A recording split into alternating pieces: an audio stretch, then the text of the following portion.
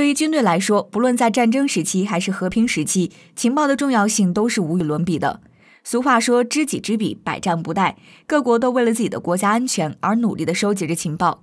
而自古以来，美人计就是一种防不胜防的收集情报手段。当年二战时期的盟军女间谍就从德国军官得到了大量的珍贵情报，使得盟军的胜利更早的来临。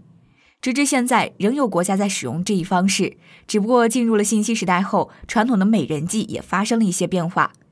据印度报道称，一名印度航母工程师在网上结识了宝莱坞美女明星。这位美女先是表示非常崇拜军人和工程师，对工程师发起了连环的爱情攻势，与工程师达成网恋，最终使得工程师被爱情冲昏头脑，透露了情报，泄露了印度航母大量信息，包括航母休养情况和多支舰载机搭载情报。不过，能当上航母工程师，毕竟还是有些智商的。渐渐的，他觉得有些不对劲，于是主动向军方自首。军方经过调查后发现，原来那个宝莱坞女星竟是一名专业特工，专门来获取印度航母情报的。而那名航母工程师将面临印度军方严重的刑罚。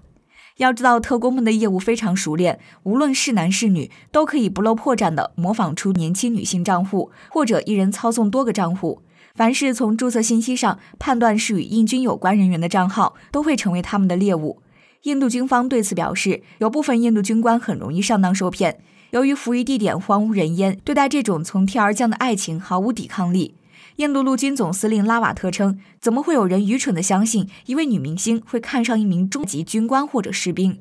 并且对所有士兵发出警告，称会追查所有嫌疑人的手机，将对任何泄密者和背叛者进行严厉的惩罚。感谢收看《零度军武》，下期见，拜拜。